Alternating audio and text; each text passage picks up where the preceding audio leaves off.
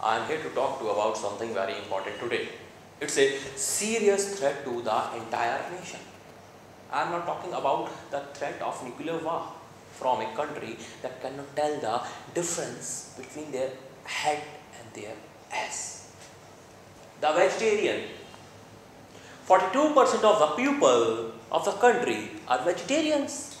And what do vegetarians eat? Trees, leaves, uh, grass and flowers and stuff, weeds, uh, moss, whatever. The point is vegetarians are the biggest threat to the entire nation, nature as we know it. Every 4 seconds the world loses a part of the rainforest, the size of a football field. And on top of that we got these veggies, pinheads, killing vegetation just so they can eat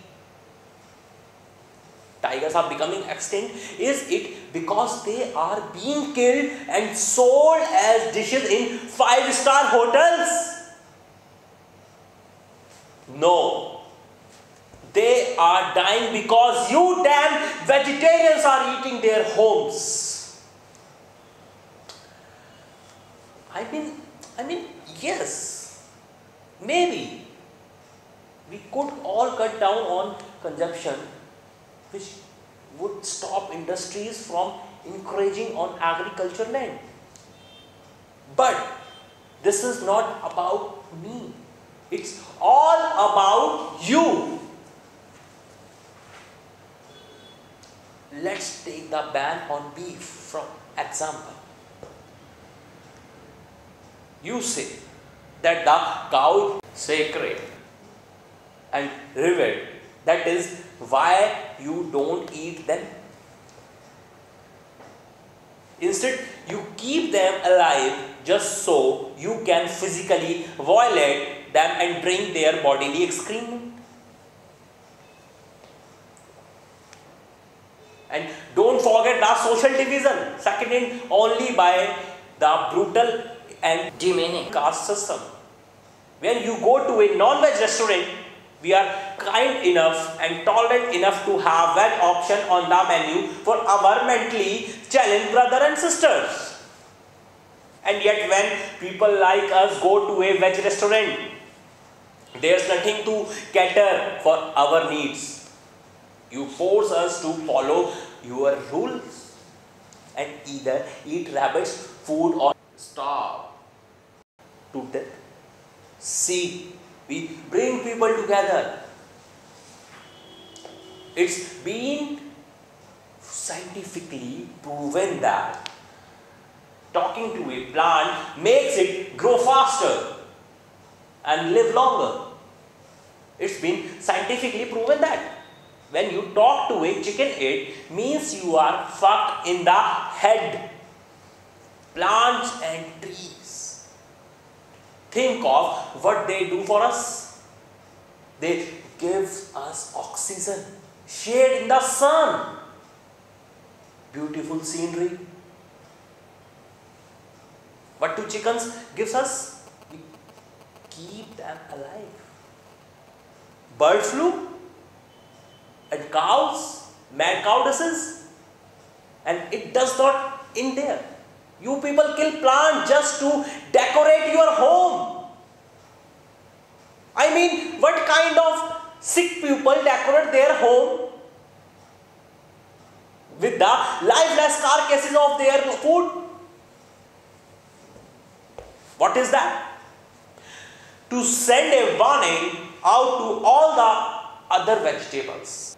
I mean, do you see us meat eaters decorating our homes with chicken drumstick or T-bone sticks? Not. You idiots are ruining lives of other creatures too. Bees and need plants to have sex. Because of you bees cannot have sex. This world is going to end with a swarm of sexually frustrated bees attacking us. And why not?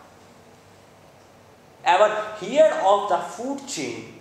Well, if you have not, go take a look at it. it.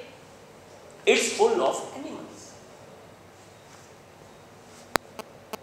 Do you see any leaves or trees or veggies burger on there? Do you?